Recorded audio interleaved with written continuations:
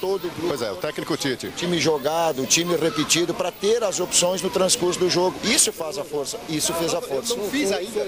Tite, com relação a... O Internacional é o líder isolado do Campeonato Brasileiro e você trabalha muito as questões anímicas. Te preocupou um possível abalo do grupo depois da perda da Copa do Brasil? Você trabalhaste isso? Claro que sim. Pô, a gente perdeu um título fundamental. É assim aqui. Eu não fiz. A gente, é assim, amigo. A gente fez um, um, um, uma decisão fundamental e o time sente, pô, porque ninguém dormiu direito dois dias. É inevitável, tu acha que nós vamos para casa com a cabeça inchada, queria ter o título, sabe reconhecer o trabalho que esse grupo todo para chegar na final, quanto foi difícil, assim como no momento que nós estamos, mas sentiu a bala. O emocional era importante e o grupo respondeu de uma forma extraordinária. Estou muito feliz por absorver essa, esse último jogo que foi pesado para nós, apesar da reação, apesar do, né, de todo, todo o desempenho que teve, a garra, a gana, o coração que teve para buscar um empate no último jogo, mas trazia para esse jogo.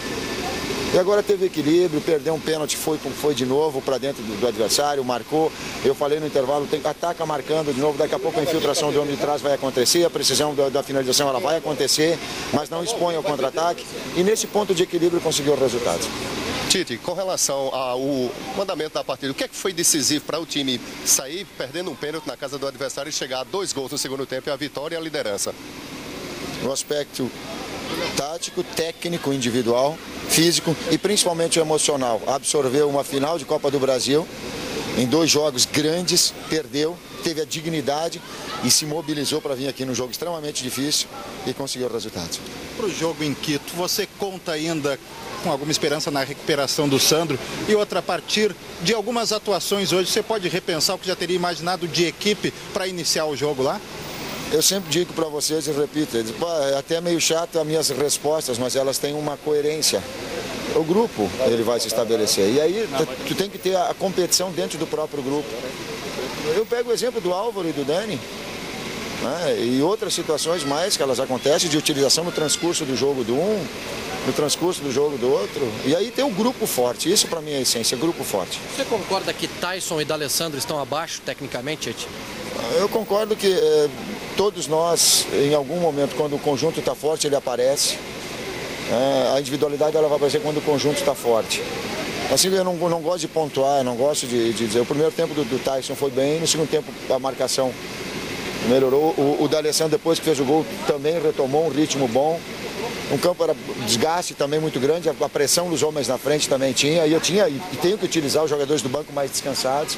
Aí tem também a força do grupo e a estratégia para o jogo pesado também, um campo pesado, grama alta, descoordena, incha a perna e começa a utilizar as peças também. Lá em Quito, muitos técnicos dizem que a receita é jogar atrás da linha da bola, marcar muito e sair no contra-ataque. Se o Inter fizer isso, o Inter estará na sua característica, da velocidade. É, sim, uma das características é a transição rápida, mas é não sair também da posse de bola, senão tu vai ficar, vai e volta, vai e volta a todo lado, é jogar, exato, e aí vai afogar. Vai ter também o ponto de equilíbrio e triangulação que nem teve hoje. Tite, de que forma esse resultado pode ajudar o time aí nessa disputa da Recopa Sul-Americana, já que o time tem que reverter o que pode dizer uma grande desvantagem, porque joga na casa do adversário? Eu não digo assim uma grande desvantagem, é uma desvantagem também que nós tivemos, por exemplo, quanto a equipe que vai disputar a final da Libertadores agora com Estudiantes, que nós vencemos lá e ela veio no tempo normal, nos venceu e nós vencemos a prorrogação. Então é perfeitamente reversível. Você é um técnico, Tite, que trabalha muito o lado emocional do seu grupo de jogadores. Você pessoalmente temia que pudesse haver ainda algum abatimento pela perda do título para o Corinthians na quarta-feira? As pessoas às vezes se enganam um pouquinho comigo e acham que é só emocional, não tem emocional. Muito não. Bem emocional. É, não, mas eu coloco assim que às vezes as pessoas, não especificamente dizendo emocional. Emocional se fosse assim, um psicólogo da, da, da é treinador da equipe. Eu acredito em equilíbrio.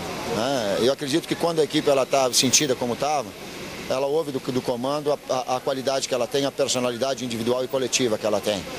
Quando ela está excessivamente por cima, o técnico vai lá e puxa e mostra os defeitos que ela tem para ficar fazendo sempre o fiel da balança. Esse é o lado emocional que tem. O outro é o lado de campo.